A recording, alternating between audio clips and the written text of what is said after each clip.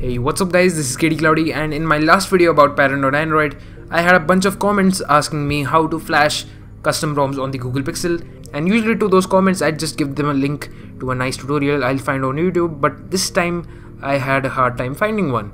So I thought why not make one myself. So yeah, this is a complete guide from start to finish, a one-stop shop for every one of you who wants to flash a custom ROM on your Google Pixel which is called Sailfish or even the Pixel XL which is called Marlin. But either way there are four main and long steps to install a custom ROM and they are first unlocking the bootloader, second is getting a custom recovery, and third is installing the ROM, and lastly, and the fourth one is installing the G apps. Now before we go on to the four steps, we have some warming up, that is some prerequisites.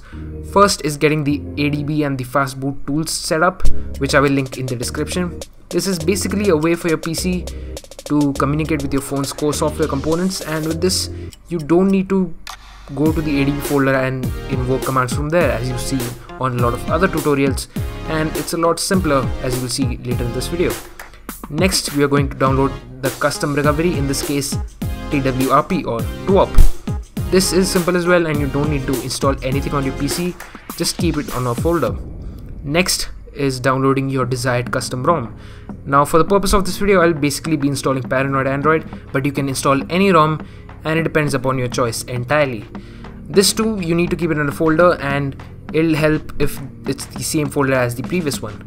Now the next step is downloading Google Apps or GApps from this website called opengapps.org and you have to go for ARM64 GApps for this and any package size micro mini or stock will work just fine. I went for stock because that's just my preference but uh, again you need to download this and place it on the same folder.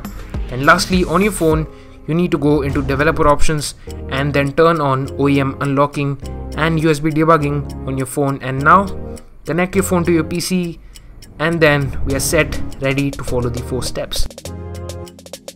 For this you need to keep in mind that you will lose all of your data so yeah it's a good idea to have a backup. Now just hit shift right click while being on the ROM folder and here type a command called fastboot reboot bootloader. Now you might get a prompt on your phone, just hit that check mark and hit OK and now your phone will show up a bunch of nerdy hacky looking text. Relax, that's just totally normal, it's called the bootloader of your phone. Now back on your PC, you need to type fastboot flashing unlock and hit enter. It'll again ask for confirmation and that's okay, just press the required buttons and congrats, step 1 is complete. Now this is a tricky part and it's different from older phones. For this you again need to get into the bootloader mode and run a command fastboot boot and hit the tab key until you see the TWRP file name and once you see that just hit enter. Now if you see the slow on your phone congratulations step 2 is also complete. Now this step is easy just hit the wipe button on TWRP and then advanced select these partitions and swipe that bar at the bottom and then you need to go to this advanced tab and tap on ADB sideload and hit this swipe bar again. Now on your PC just write this command called adb sideload and hit the tab key until you see the paranoid android file name or your custom ROM file name and hit enter. And then you'll see on your phone that it's downloading the whole package and installing it simultaneously and it's going to take a while but when it's done congratulations you have completed step 4 now lastly you need to go to the reboot tab and hit reboot bootloader and you'll get back to the screen. Now on your PC you need to repeat step 3 and get into TWRP recovery again and go to adb sideload and type this command adb sideload and then hit tab unless gapps show up and hit enter. And then it'll take a while to install everything. And once you're done just hit reboot system. It'll reboot the system.